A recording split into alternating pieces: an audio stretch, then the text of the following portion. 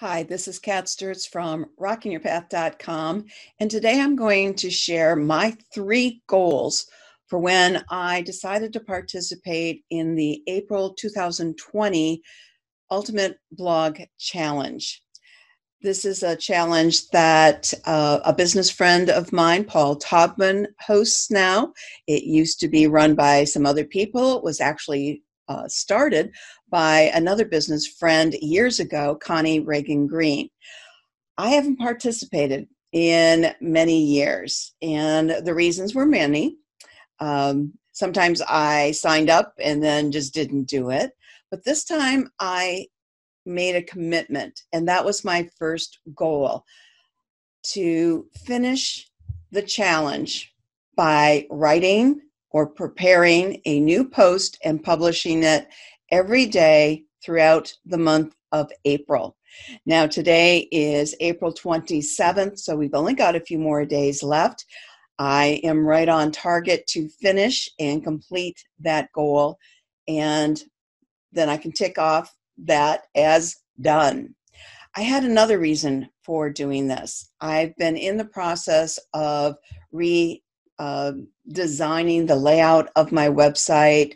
I'm introducing some new brand colors, some new formats, and I realized that I was missing some cornerstone content, some posts that really represented who I was, what I teach about, what I coach about, my feelings about certain things in life and business as both a business life mentor and the purgatory relief coach for people who think marketing is hell.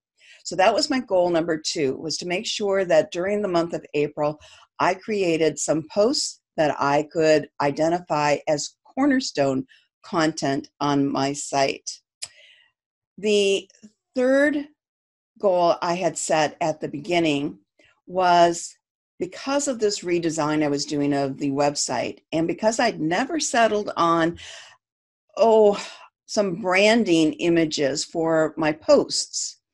I wanted to work out, work that out and see what I could come up with.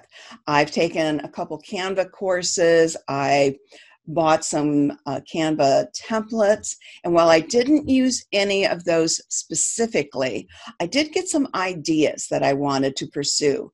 And I ended up with not just one type of brand post image for my site.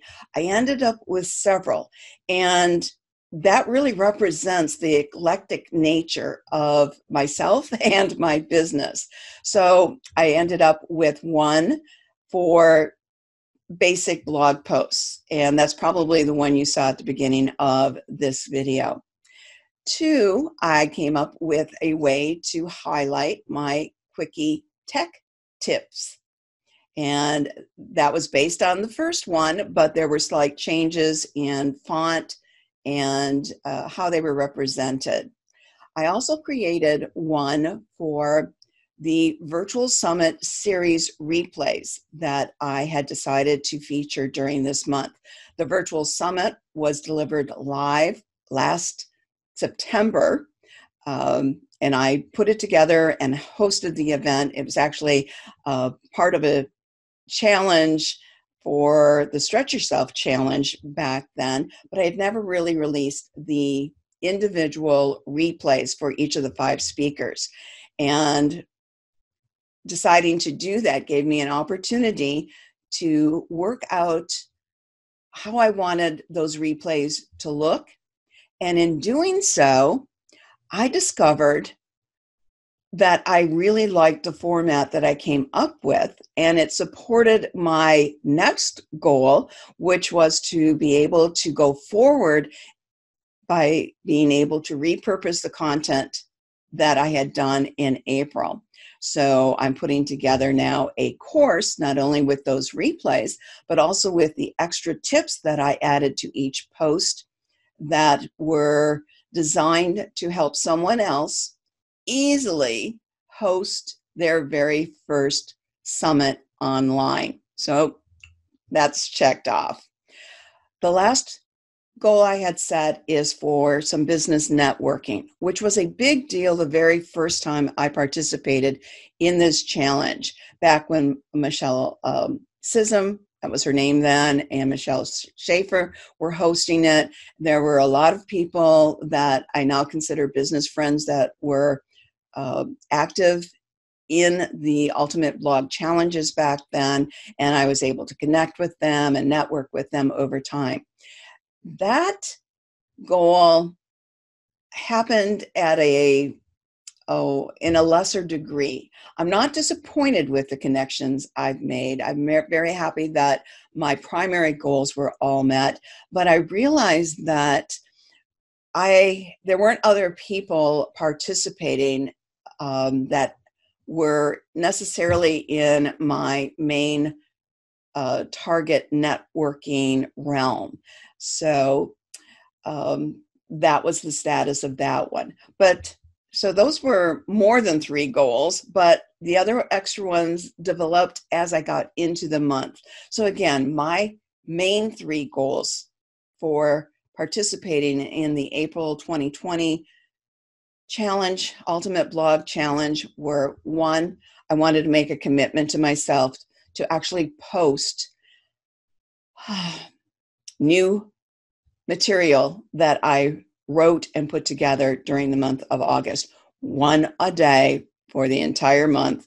I'd been real slack on posting new content, so that goal was met. Two was to make sure that among those 30 posts that I did, uh, several I could identify as cornerstone content, content that represented me and my business um, style and my coaching style, my teaching style, what I covered as a business life mentor. And the third major one was to come up with a brand post image design. And that ended up being successful as well. I actually came up with several designs that I will be continuing to use going forward. There was the basic post image one, there was the techie quick tech tip one, which is a mouthful to say. I also have my Sunday, uh, my Spotlight Sunday format as well, and I've used that three times already this month. And I really like the style of that one. Uh, they're all different, but they there is still, I believe, a cohesiveness that represents my overall uh, brand. So that's it for today's post. I'm going to summarize that in the uh, copy below this so you'll be able to get just the highlights or watch this video blog post. Bye for now.